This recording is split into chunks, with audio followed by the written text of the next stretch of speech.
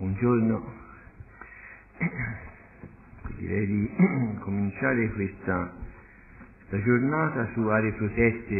e territorio circostante, due esperienze a confronto, incontro tra il Parco regionale Migliorone Salossore Massaciuccoli e il Parco nazionale di Guasù, in Paraná, Brasile. Tanto per quello che riguarda il comune di Pisa, eh, vediamo se eh, eh il sindaco potrà eh, raggiungerci, anche se ha qualche problema, eh, nel caso che intervenga lo faremo poi parlare successivamente, direi però di non aspettare oltre, di cominciare anche per un fatto appunto di, di tempi, che altrimenti si va oltre i tempi, tutti i tempi previsti. Eh, io faccio da moderatore, ma naturalmente eh, porto anche il saluto del Parco regionale Emiliano Starossore e Massaciuccoli, saluto eh, che è eh, del parco, degli enti della comunità del parco, delle province e comuni e naturalmente della regione, che è l'ente al quale noi facciamo eh, riferimento, la regione toscana. La regione toscana una regione che è molto impegnata sul tema dei parchi, in Toscana ci sono tre parchi regionali e tre parchi nazionali, e poi tutto un altro sistema di parchi locali eh, che portano alla tutela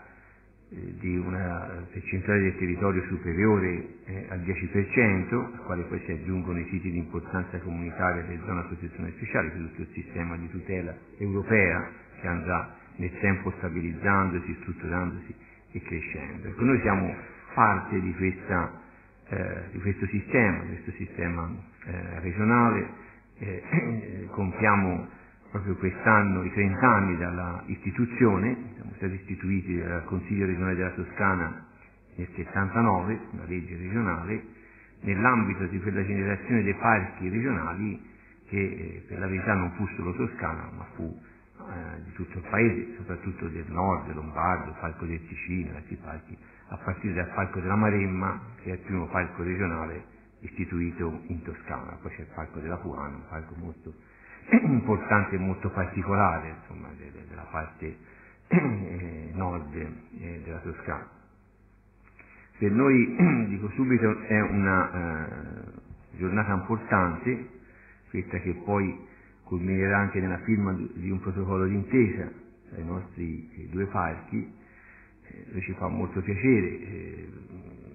il nostro parco è un parco che ha delle specificità, ne fanno, diciamo, aspetti, danno adesso gli aspetti positivi anche qualche problema, non da poco, un parco vicino a, a delle città, in un'area fortemente antropizzata, con tante infrastrutture, tante presenze e per questo rende ancora forse più eh, particolare e originale la vita di questo parco che ha saputo in questi 30 anni tutelare eh, questi 25.000 ettari di territorio, compresi tra Livorno, Pisa, Lucca e Viareggio, la Versilia, e eh, che ha costruito anche su questa tutela anche alcune occasioni di sviluppo sostenibile. Di sviluppo sostenibile. il parco eh, di Guasù, siamo incontrati in questi giorni, è cosa diversa, diciamo, nella dimensione, nella grandezza, nella suggestione anche dei territori, ma che poi alla fine nel tempo, ci veniva detto, sta incontrando gli stessi problemi di rapporto con le popolazioni, con le realtà esterne, quindi diciamo, anche se siamo partiti da due punti di, eh, di partenza diversi, alla fine poi siamo andati avvicinandoci, diciamo, in alcune eh, problematiche che abbiamo in comune. Ecco, per cui eh, direi di iniziare eh, questa giornata eh, ringraziando eh, tutti i presenti, eh, l'Università di Paranà, l'Università di Pisa e poi naturalmente i rappresentanti del Parco di Iguasù.